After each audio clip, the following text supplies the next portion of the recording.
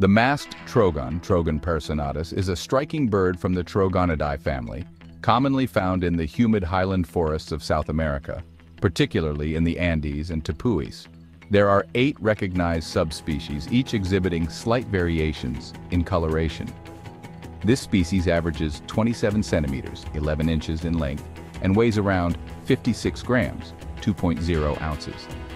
The male's upper parts, head, and upper chest vary in color, appearing glossy green, reddish bronze, or golden green depending on the subspecies. Its belly and lower chest are vibrant red, separated from the greenish upper chest by a narrow white band.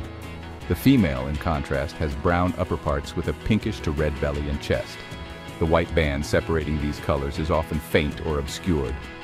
It is omnivorous, feeding on both fruits and insects. It is typically found singly or in pairs, quietly perched in the understory to subcanopy of forests.